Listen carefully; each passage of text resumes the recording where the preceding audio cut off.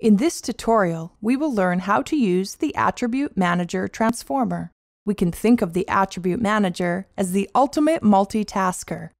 With just this one transformer, create attributes, rename attributes, copy attributes, and so much more. Let's take a closer look. We will work with some address data. Here is the table list in the FME Data Inspector. What we want is this. So, we will remove a number of fields, rename some fields, set province to a fixed value BC, and we will create a new full address field by concatenating a number of attribute fields together. And we will do this with just one transformer, the Attribute Manager. In FME Workbench, open the template which will read from GeoDatabase address table and write to Esri shapefile. Insert an attribute manager between the source and destination. Then open its properties. Notice that the incoming attributes are automatically listed. We will work with the next three columns, output attribute, attribute value, and action. Remove the first four attributes.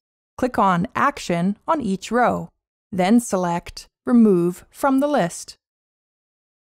Rename PSTL address, type in address in the output field, and notice the action changed accordingly.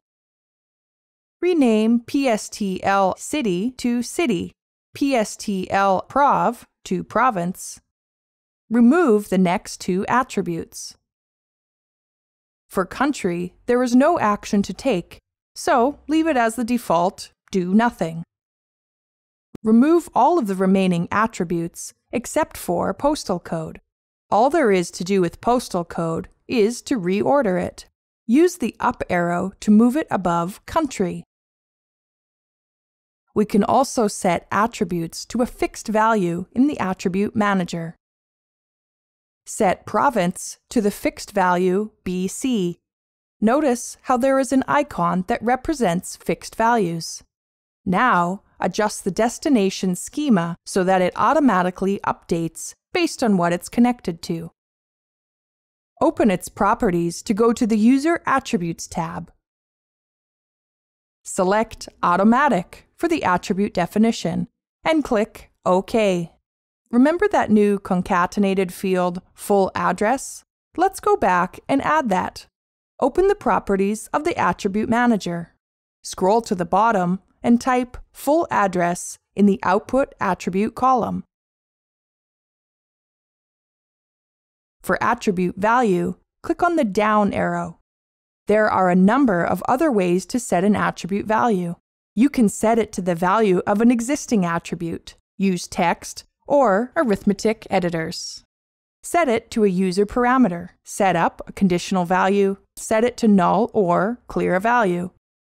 Select Text Editor to set up the string concatenation for our full address field.